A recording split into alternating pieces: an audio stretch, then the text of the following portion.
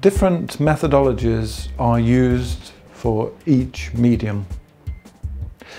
In the UK, the main readership survey uses personal interviews.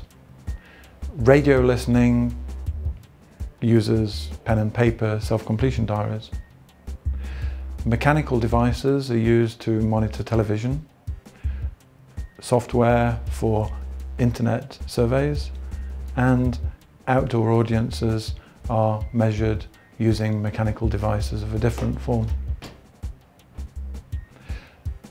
Measurement is moving towards mechanical observation and technology is now making it possible for all media to be captured by single studies or single devices.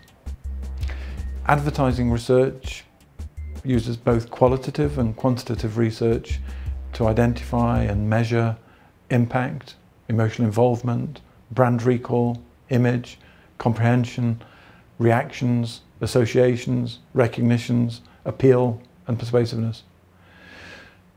With powerful data mining software, econometrics has seen a revival.